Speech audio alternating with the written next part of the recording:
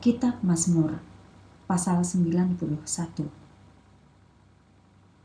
Engkau dapat pergi kepada Allah yang maha tinggi untuk bersembunyi. Engkau dapat pergi kepada Allah yang maha kuasa untuk berlindung. Aku berkata kepada Tuhan, Engkaulah tempat perlindunganku, bentengku. Ya Allahku, aku percaya kepadamu. Allah akan menyelamatkan engkau dari bahaya tersembunyi dan dari penyakit yang mematikan. Engkau dapat pergi kepada Allah untuk berlindung. Ia akan melindungi engkau seperti burung yang mengembangkan sayapnya terhadap anak-anaknya. Engkau dapat bergantung padanya seperti perisai dan tembok dan melindungi engkau. Tidak ada yang kau takuti pada malam hari dan engkau tidak takut akan panah musuh pada siang hari. Engkau tidak takut terhadap penyakit yang datang dalam gelap, atau penderitaan yang mengerikan yang datang pada siang hari. Seribu orang mungkin mati di sampingmu, atau sepuluh ribu orang di sebelah kananmu. Tetapi tidak ada yang buruk akan terjadi atasmu.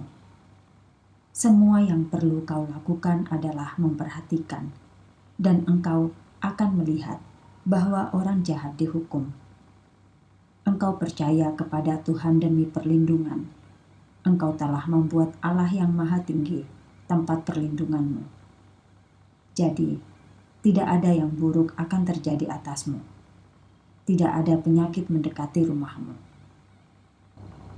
Ia akan menyuruh malaikatnya melindungimu ke mana pun engkau pergi. Tangan mereka akan memegangmu kakimu tidak terantuk pada batu. Engkau akan memiliki kuasa menginjak singa dan ular berbisa. Tuhan berkata, "Jika orang percaya kepadaku, aku akan menyelamatkannya. Aku melindungi para pengikutku yang minta tolong kepadaku.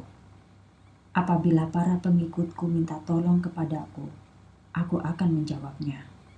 Aku akan bersama mereka." Apabila mereka mempunyai kesulitan. Aku akan menyelamatkan dan menghormatinya. Aku akan memberikan umur panjang kepada para pengikutku, dan aku menunjukkan kuasaku untuk menyelamatkan.